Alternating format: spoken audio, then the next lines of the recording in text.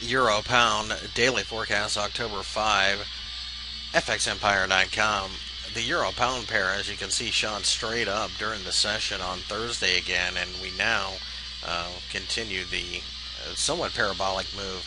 Should be noted that the 80 handle has given way, but we're currently in quite a bit of mess from uh, over the summer, the June or late May area.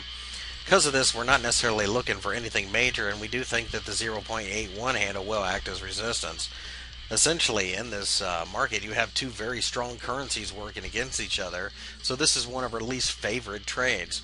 The pound is very strong against many other currencies. It just so happens that the euro is getting a bit of a bid, not only because of strength, but because of short covering.